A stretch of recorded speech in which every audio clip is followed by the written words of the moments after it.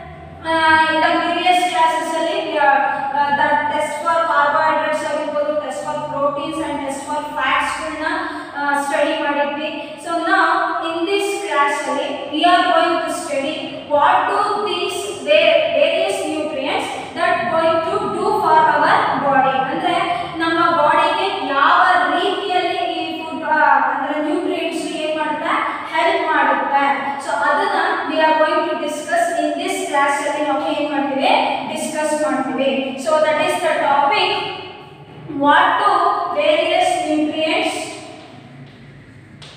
What do various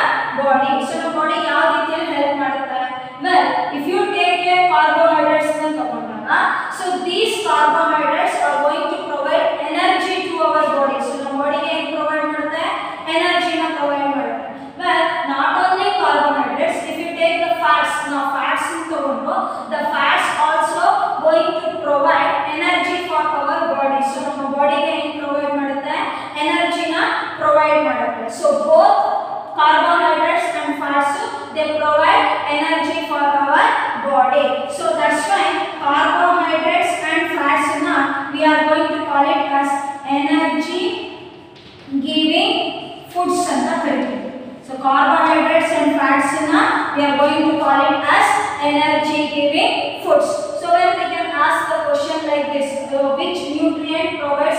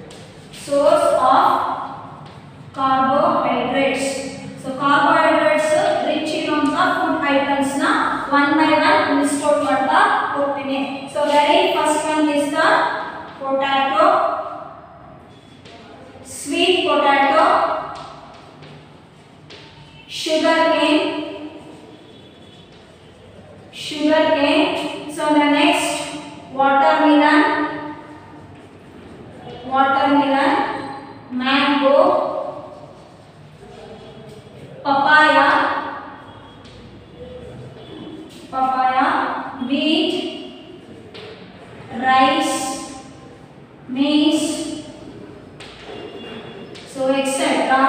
All these food items are rich in carbohydrates. ಇನ್ನು ಜಾಸ್ತಿ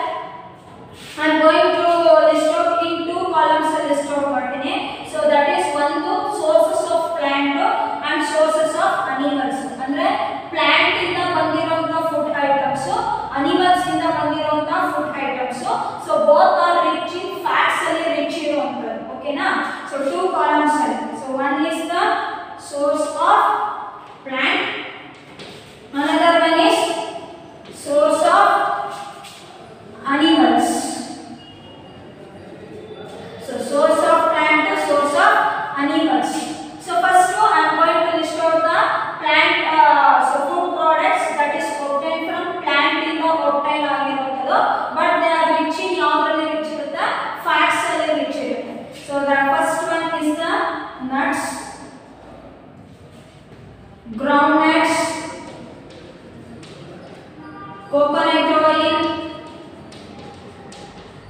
mustard oil, mustard oil, next sunflower oil. So etc. All these are the food items that is obtained from plants ಇಂದ obtained ಆಗೋದು.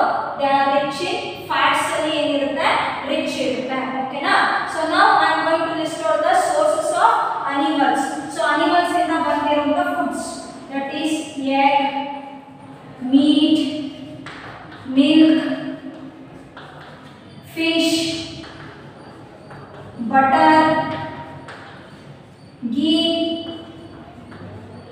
So etc. Even you can write cream. So all these are the food items that is obtained from animals.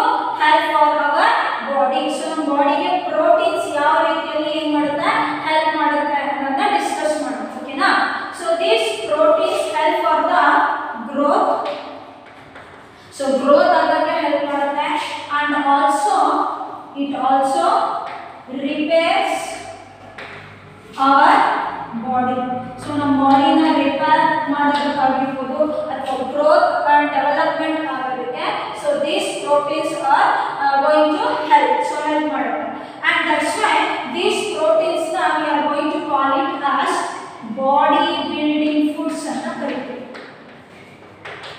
so it is called as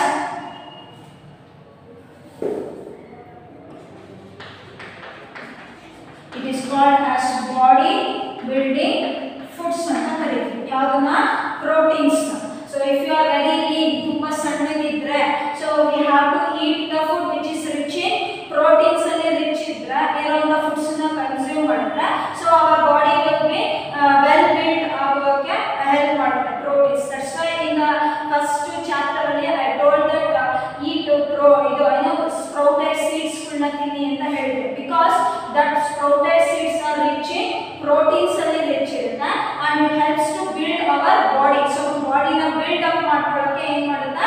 help ಮಾಡುತ್ತೆ. So ನಾವು I am going to list out the sources of proteins so proteins sources ಗಳನ್ನ list out ಮಾಡ್ತೀನಿ. So which are rich in food items which are rich in proteins source of proteins. So ಇಲ್ಲಿ source of proteins ಬಂದ್ರೆ again I am going to make it two columns. So ಒಂದು source of plants. So plants ಇಂದ obtain ಆಗುವಂತ food items. ಇನ್ನೊಂದು source of animals. ಅಂದ್ರೆ animals ಇಂದ obtain ಆಗುವಂತಹ food items.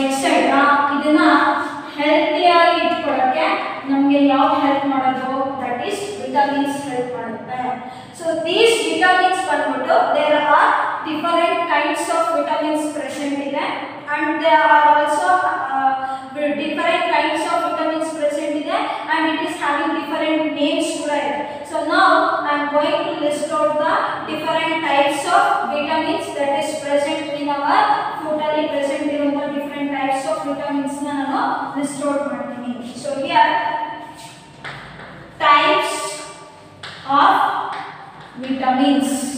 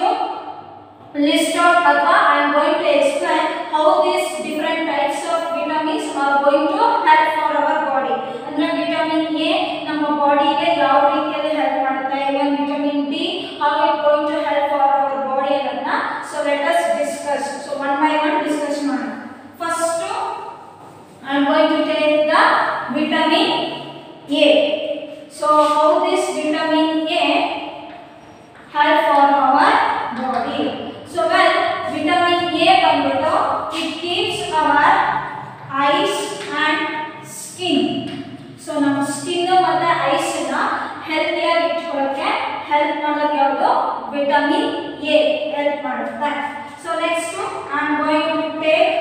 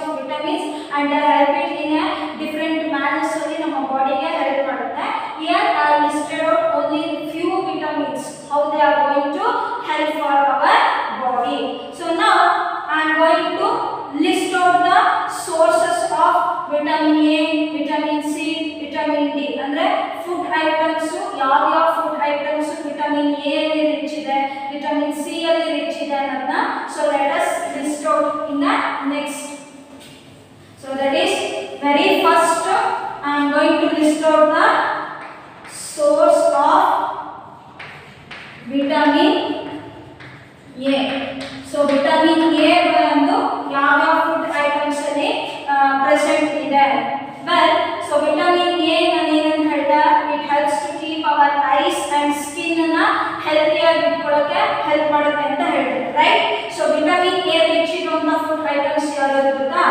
Carrot So carrot, milk, papaya, mango,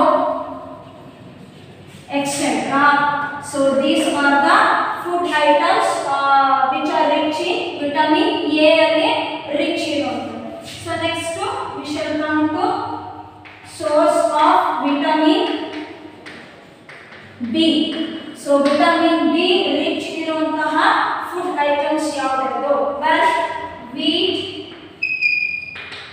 rice and uh, even liver etc.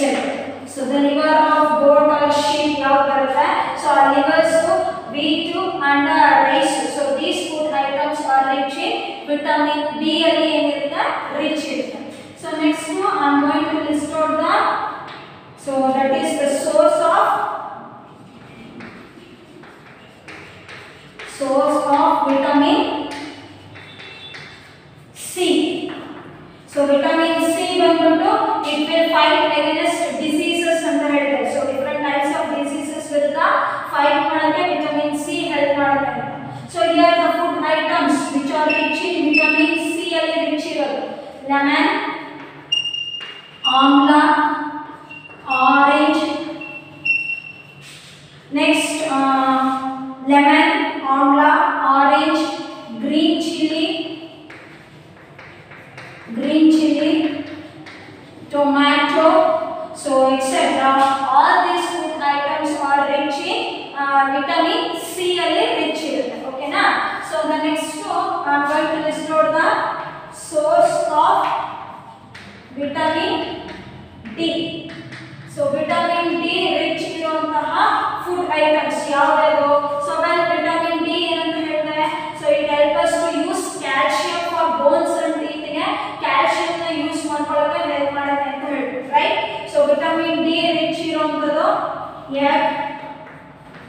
milk, so liver,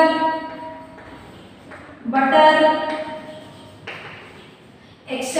Uh, you can take uh, fish, so etc. So all these are rich in, rich that is vitamin D alli and rich in. Okay, na? So these, these vitamins, they are required for our body in a very small quantity. alli ಅಷ್ಟೇ ನಮಗೆ vitamins ಎಲ್ಲ ನಮ್ಮ ಬಾಡಿಗೆ it request in very small quantity so the next we shall come to after vitamins ಆಮೇಲೆ so the next nutrient that is minerals so how the minerals are going to help for our body so minerals ನಮ್ಮ ಬಾಡಿಗೆ ಯಾವ ರೀತಿಯಲ್ಲಿ help ಮಾಡುತ್ತೆ ಅನ್ನೋದನ್ನ discuss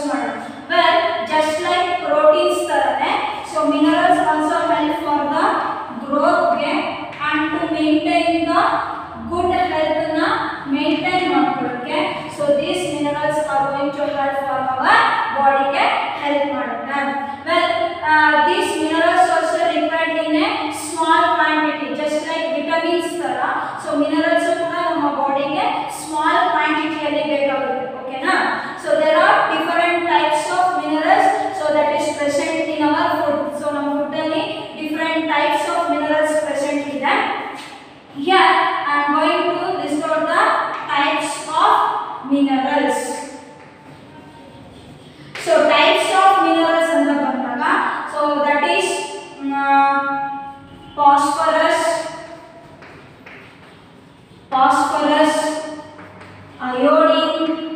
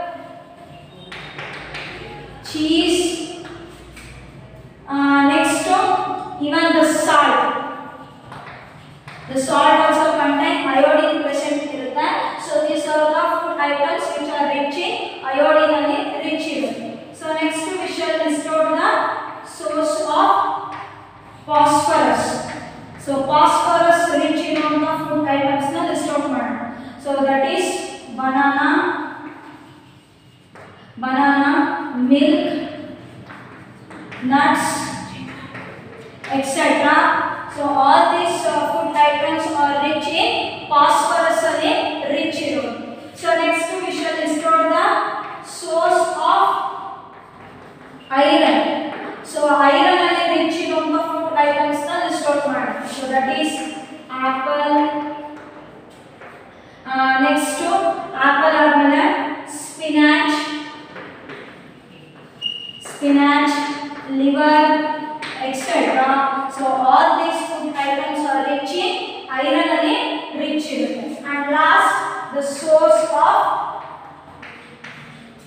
source of calcium. So calcium only rich in the food items. So one is the egg and milk. So these are the food items which are rich in calcium only rich in. So well students in this class only we have discussed how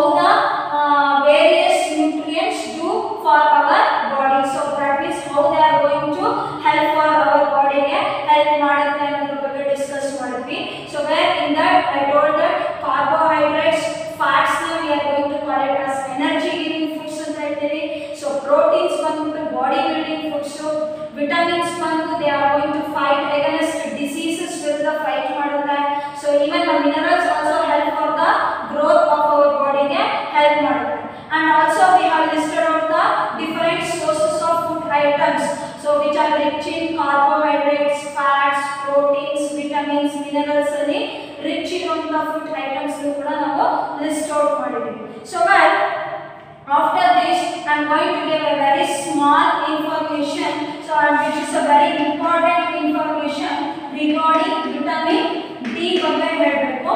So what is vitamin D? So vitamin D already ಹೇಳಿದೆ. So it provides ಆ, ಅಂದ್ರೆ ನಮ್ಮ calcium use ಮಾಡ್ಕೊಳ್ಳೋಕೆ ನಮಗೆ vitamin D help ಮಾಡುತ್ತೆ ಅಂತ ಹೇಳಿ so vitamin D rich ಇರುವಂತ ಫುಡ್ ಐಟಮ್ಸ್ ಕೂಡ ನಾನು ಲಿಸ್ಟ್ ಔಟ್ ಮಾಡಿದೆ so one of the important information that I want to give regarding to vitamin D ಏನಪ್ಪ ಅಂತಂದ್ರೆ ಅವರ್ ಬಾಡಿ ಸೊ ನಮ್ಮ ಬಾಡಿ ಏನಿದೆ? ನಮ್ಮ body itself prepares the vitamin D so ನಮ್ಮ ಬಾಡಿ ಸ್ವತಃ ವಿಟಮಿನ್ ಡಿ ನ ಏನ್ ಮಾಡುತ್ತೆ? ಪ್ರಿಪೇರ್ ಮಾಡುತ್ತೆ. So in the presence of sunlight so ಸನ್ಲೈಟ್ನ presence ಅಲ್ಲಿ our body is going to prepare the vitamin D ನ ಪ್ರಿಪೇರ್ ಮಾಡುತ್ತೆ. So that's why we should have the habit of uh, exposing our body to the sunlight. At least ಒಂದು half an hour or one ನಮ್ಮ ಬಾಡಿನ ಯಾವ expose for ಸನ್ಲೈಟ್ಗೆ expose ಮಾಡಬೇಕು. So that it prepares vitamin D ನ ಏನ್ ಮಾಡುತ್ತೆ? Prepare ಮಾಡುತ್ತೆ. ಓಕೆನಾ but now is what we are doing is we are not properly exposing our body to the sunlight ನಾವು ಪ್ರಾಪರ್ ಆಗಿ ಎಕ್ಸ್ಪೋಸ್ ಮಾಡ್ತಾ ಇಲ್ಲ. ಸೊ ಇದರಿಂದ so many peoples are facing the vitamin D deficiency ಇರುವಂತ ಡಿಸೀಸಸ್ಗಳು ಜಾಸ್ತಿ ಆಗ್ತಾ So this is the one of the important information that I want to give regarding to the vitamin D. So with this uh, important information, I am going to start the class. I am going to continue in the next class and continue on. Thank you.